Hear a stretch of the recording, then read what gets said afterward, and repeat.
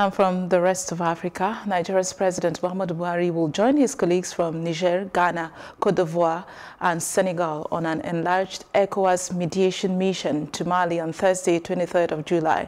This high-level mission comes on the heels of the visit of another ECOWAS delegation led by former Nigerian President Goodluck Jonathan. After three days of consultations in Bamako with Malian political stakeholders, the Jonathan-led delegation recommended the establishment of a national unity government and the recomposition of the Constitutional Court. But the opposition coalition M5, M5 RFP rejected the recommendations and insist on the resignation of President Ibrahim Keita and the continuation of anti-government street protests, which have resulted in the destruction of government properties and the loss of at least a dozen lives. Mali has been enveloped in insecurity and uncertainty due to leadership crisis compounded by terrorism, jihadist insurgency and rebellion by Tuaregs in the north and central parts of the country. Joining us live to make sense of all of this is Paul Ejime, who is a foreign affairs expert. Good to have you, Mr. Ejime. Thank you very much. Now, what, what is the importance of President Muhammadu uh, Buhari's visit or intervention in the Mali crisis, if I may ask you? It's, uh, it is raising the um, uh, you know, the tempo of the engagement because um, before colleagues um, in West Africa, Niger, uh, Ghana, and Senegal were to, to, to lead um, the high level delegation mm -hmm. after former President um, Jonathan uh, came back to brief uh, uh, President Harris. It shows the importance the ECOWAS um, uh, region attacking to this um, uh, conflict. And there's another one in brewing also in Cote d'Ivoire.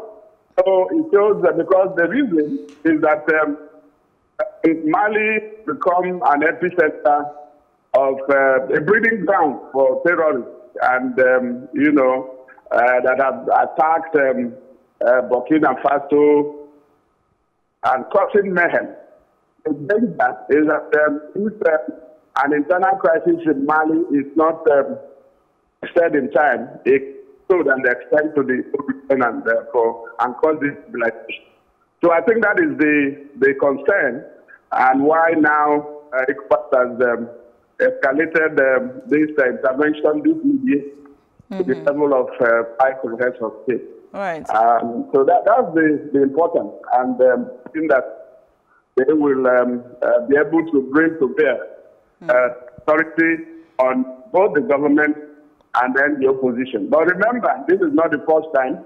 ECOWAS in 2012 also has sent a similar uh, delegation, which, um, um, you know, had issues. There was a coup there by um, um, Amadou Sanogo, Captain Sanogo, and which um, would not even let uh, the ECOWAS uh, plane to land. But I, I, hope this is not going to happen. Yeah. There is no coup, but there is uncertainty and uh, insecurity in um, in Mali. Uh, so, uh, which brings me to, to my next question. You know, uh, just what you yes. said now leads to my next question. Um, why do you think the opposition is kicking against uh, all the recommendation, the recommendation by the former President Jonathan-led uh, mediation team and insisting that you know uh, President Keita must have to resign, otherwise they are continuing with protests, which, as you know and as you have affirmed, there has led to a lot of destruction and loss of life and properties. Well, they are insisting on Mali is a complicated and complex issue.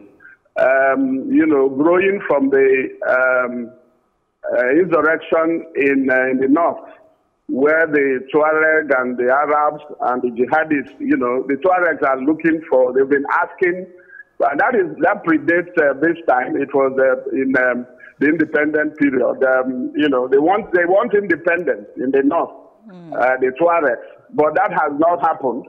And that has com been complicated by the fact that um, um, President Keita, when he uh, got re-election, this is the second time he's serving, by the way. He got re-election, re-elected in 2018 and had promised that he was going to end this insurrection. He has not been able to do that. There is also economic crisis and then um, uh, corruption, of course, And then they clamped down on the opposition. That is another thing. And then um, on top of it was uh, the election that was held in March, mm. where the um, um, the government uh, was uh, accused of using the Constitutional Court to overturn um, uh, 31 about 31 um, uh, in favor of uh, in Parliament in favor of the ruling party. So it's um, a combination of factors. Mm. All these have, and then recently in March, the opposition leader, the man um, uh, Soumaila Cisse, who ran against uh, Keita in 2018, was kidnapped. He's still missing. He's not been found.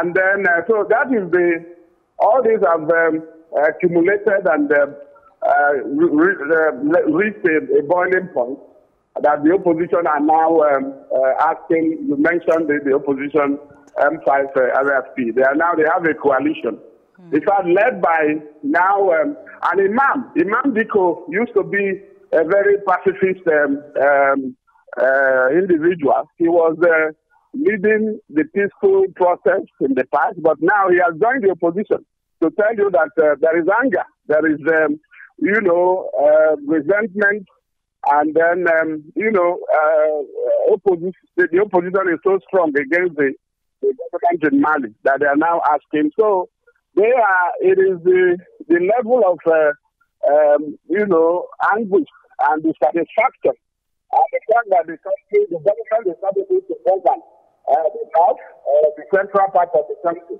All right. So we have uh, Mr. Ejime. But it's not having authority across the country. All right. So these are the, the, the problems.